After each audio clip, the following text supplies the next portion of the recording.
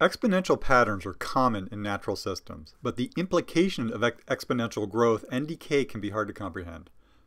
The story of the wheat and the chessboard is a good way to introduce this challenge. There are many variations of the story, but the basic idea is that a wise man once asked a king to reward him by giving him as much wheat as could fit on a chessboard based on the following pattern.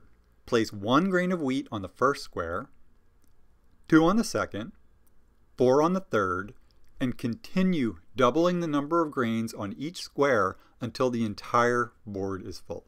Most people's intuition is that this won't add up to very much wheat.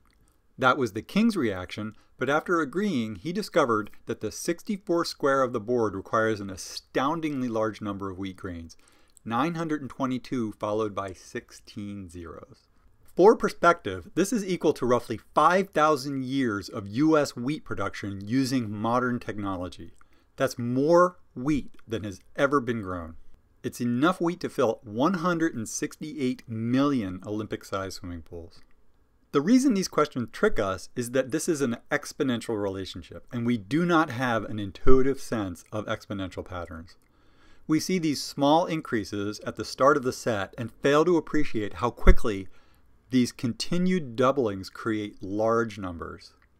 Exponential patterns are not limited to abstract situations like calculating the amount of wheat that can fit on a chessboard. Many natural systems contain parameters that vary over ranges that make exponential notation useful in describing them. Electromagnetic energy is an example. Types of electromagnetic energy range from long wavelength, low energy radio waves to extremely short wavelength, high energy X-ray, and gamma radiation. We measure, describe, and compare different types of electromagnetic energy using the energy's wavelength.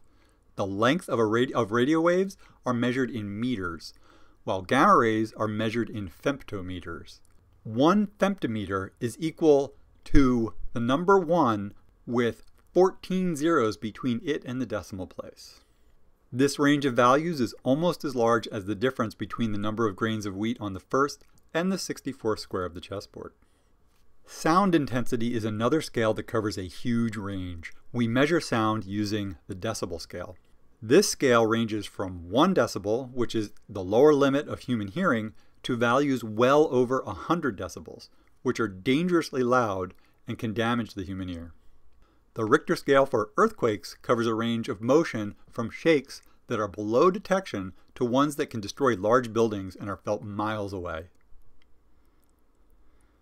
pH, the scale we use to describe the acidity of solutions, also describes an exponential pattern. The pH scale goes from 0 to 14 and is used to describe the concentration of hydrogen ions in a solution.